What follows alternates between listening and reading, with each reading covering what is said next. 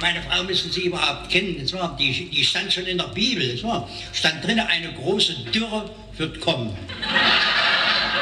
Und da habe ich sie genommen. Was denken Sie, wie der die ist? Ah, nee, vornehm sie, das muss man sagen. Die spricht alles so schön. Gibt doch so Leute, so frisiert, so. Guten Tag, wie geht's? Aha, so ein bisschen doof. Lass es. Lass es. Ich komme gestern aus meinem Gesangverein, ich bin im Gesangverein, wir haben ein Lied gesungen, wir haben gesungen, an deinen Busen lass mich ruhen, 22 Mann. Komme nach Hause, sagt meine wo kommst du jetzt her? Die spricht so vorne.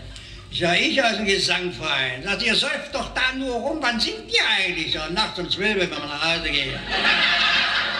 Du solltest lieber arbeiten, die man gerade so, ich in meinem Leben überhaupt noch nicht arbeite.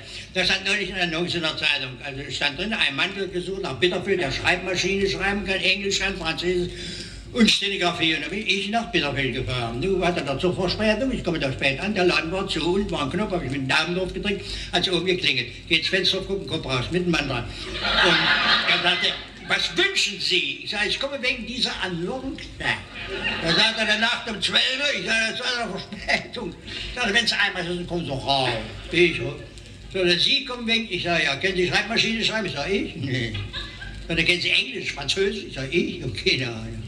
So, dann wie ist denn mit der Stenografie? Ich sage, mein Gott, was ist denn das nun wieder?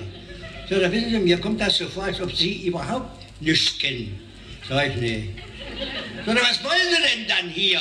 So, ich wollte ihm bloß sagen, dass ich die Stellung nicht annehme.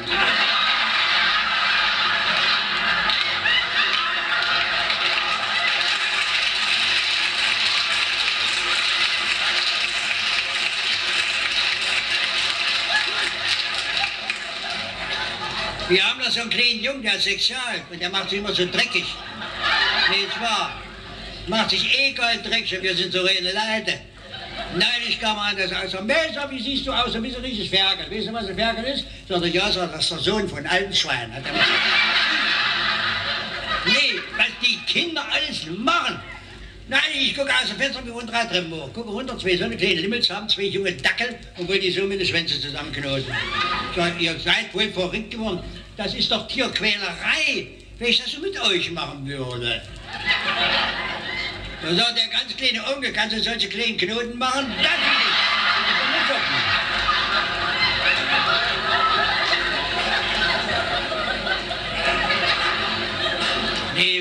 Kinder, die Kinder. Nee, nee, ach hey, letzten Sonntag kam sie auch zu mir auch so vor und sagt, Paul, ja, ja, Paul, du musst die Fenster. Ich sag, eh, so, deine Sache. Sagt sie, nein, das kann ich nicht, wenn ich runterstürze, dann breche ich mir den Hals. Ja, denke mal, wenn ich runterfalle, denke ich, mal, da bleibt gönnen. Äh, nicht, doch, ich habe hier eine fabelhafte Idee. Pass mal auf. Wir nehmen ein Plättbrett, ein Plättbrett. Kein Mensch sagt Plättbrett, man sagt Biegelbrett oder Plätt, wie sagt Plättbrett? Und dieses Plättbrett, das schieben wir aus dem Fenster raus. Da stellst du dich draußen da. Ich sag, komm, komm, komm. Bin doch nicht weich und geh auf so ein Blättbrett. So was ab, nimmst Eimer mit warmem Wasser, Putzlappen, gehst raus auf Blättbrett und putzt. Ich sitze von der anderen Seite im Zimmer auf dem Blättbrett, dann ist das Gleichgewicht hergestellt, kannst du nie runterfallen. Und ich selten dämlicher Hund. Ich gehe auf so einen Quatsch ein. Nehme Eimer mit warmem Wasser, Putzlappen, balanciere auf dem schmalen Blättbrett raus und fange an zu putzen. Auf einmal klingelt es bei uns unten an der Haustiere. Da vergisst die, dass ich auf dem Blättbrett stehe nimmt ein Haus und geht eine Treppe runter wieder. Ich war früher unten wie die, glaubt ihr? Da Wamm, mit so einem Ding lag ich auf der Chaussee. Da schließt die die Haustüre, sieht mich da liegen und sagt, Paul, warst du, dass der eben geklingelt hat? Wie wir noch nicht